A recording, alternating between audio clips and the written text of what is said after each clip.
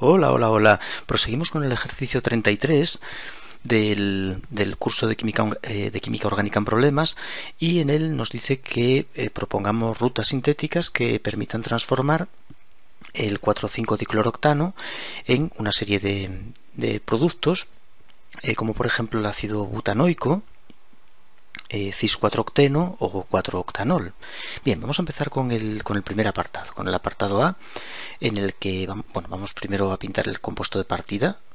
Es eh, una molécula de 8 átomos de carbono, 1, 2, 3, 4, 5, 6, 7, 8 átomos de carbono, y en las posiciones 1, 2, 3, 4 y 5 tiene cloros, un dialvalcano vecinal. Bien, y partiendo de esta molécula, pues queremos obtener el ácido butanoico, el ácido de cuatro átomos de carbono.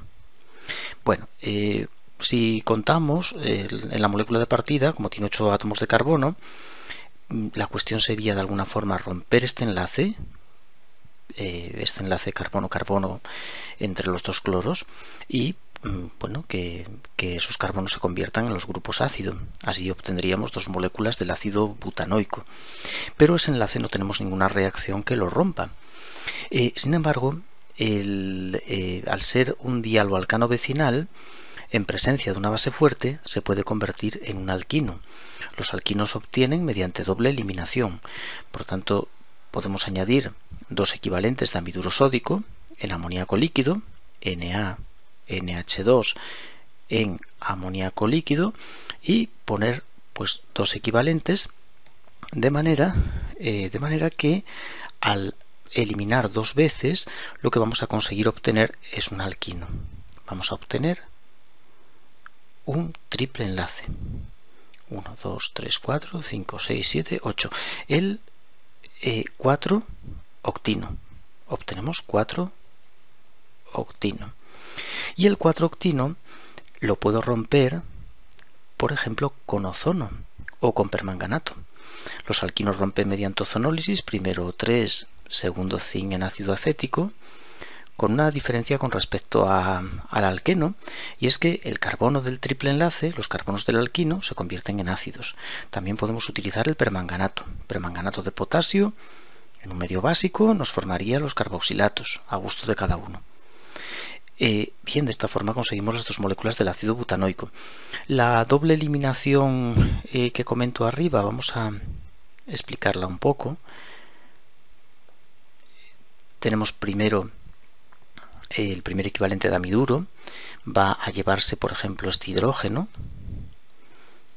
hidrógeno vecino a uno de los cloros, por ejemplo este, y se va a formar aquí un doble saliendo el cloro. También podemos arrancar el hidrógeno que hay aquí en este carbono sin problema y echar el cloro vecino. Siempre arranca un hidrógeno y saca el cloro vecino no, el cloro que está en el mismo carbono, son eliminaciones 1-2. Arrancamos un hidrógeno y echamos el cloro vecino de la molécula. Y así obtenemos el primer doble, el doble enlace, pero esta eliminación se puede repetir una segunda vez, que esto no es muy conocido, es lo que se conoce como una doble eliminación, y nos genera un alquino. Ya sé que por conveniencia o por vagancia es muy cómodo hacer esto, pero queda muy feo.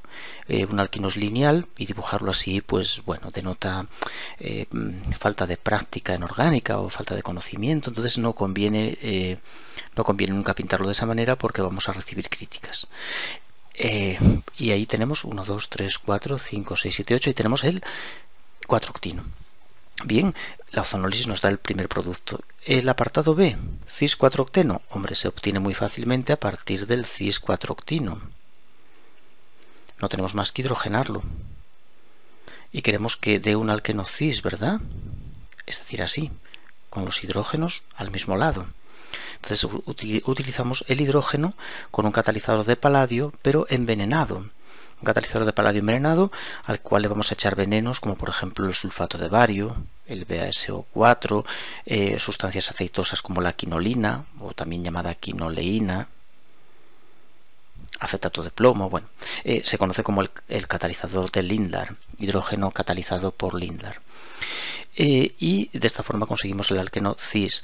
¿Que nos interesa el trans? Hidrogenamos entonces con sodio amoníaco. Sodio en amoníaco líquido nos hidrogena entra un hidrógeno por un lado, otro por el otro eh, y nos da un alqueno trans. Y en el apartado C nos pide el 4-octanol. ¿Cómo obtener 4-octanol? Yo creo que es buena idea también volver a partir del alquino. Y aquí tenemos distintas posibilidades, por ejemplo una hidratación con sulfúrico agua sulfato de mercurio. Sulfúrico agua sulfato de mercurio nos hidrata el alquino y nos forma una acetona. 1, 2, 3, 4, 5, 6, 7, 8, la, la 4-octanona la cual la podemos reducir con borhidruro sódico, NaBH4 en etanol, para obtener el alcohol, el 4-octanol. También tengo una segunda opción, que es la hidrogenación, hidrogenar, hidrógeno con lindar, es decir, hacer lo que tenemos aquí. No, hace, falta, no lo voy a poner. Hacemos lo, lo del apartado C y a continuación la hidratación nos lleva al producto, la hidratación con sulfúrico acuoso. Nos lleva al producto final. La hidratación a temperatura baja sin calentar. Eh, eh, la reacción de deshidratación contraria usa sulfúrico bajo calefacción, la hidratación sulfúrico en frío. Bien, y de esta manera podemos preparar partiendo de el dialoalcano los productos finales. La clave cuál es? La conversión del dialoalcano en el alquino mediante la doble eliminación, dos etapas de tipo E2 que he dibujado aquí en la esquina, en esta esquina. Bien, y eh, continuamos en el próximo vídeo con un nuevo ejercicio el ejercicio 34. Ya vamos avanzando, solo hay que llegar hasta el 71 y dejamos ya esta serie de, problemas para continuar avanzando los, eh, bueno, eh, los temas que, nos quedan en el canal para completar un poco, bueno, completar eh, la orgánica universitaria, pues bueno, tener un dominio de bastante bueno de, de, la orgánica que se estudia en las universidades. Una orgánica es muy muy amplia y, y no es un trabajo que no tiene que no tiene fin nunca nunca se maneja ni mucho menos ni vamos apenas nada del conocimiento que hay sobre esta disciplina tan tan amplísima actualmente pero unos conocimientos básicos que después permiten la especialización pues a diferentes ramas eh, eso es lo que se adquiere en las universidades, una cultura básica no orgánica. Eso es lo que vamos a intentar eh, también alcanzar en el canal poco a poco. Hay que indicar en el 34, indicar los productos esperados en la halogenación del 2,2,4-trimetilpentano. Eh, pues bueno, volvemos en realidad mm, a un tema que se suele estudiar eh, al principio, que es la halogenación de alcanos, y bueno, vamos a volver a hacer este ejercicio en el, en el próximo vídeo, halogenar este alcano, ver qué productos forma y recordar cómo es el mecanismo de la halogenación radicalaria y la diferencia que hay entre usar el cloro y el bromo en la halogenación.